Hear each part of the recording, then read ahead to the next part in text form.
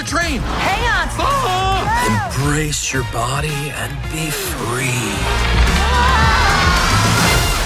I just saw the one place in a sheep that has no wool.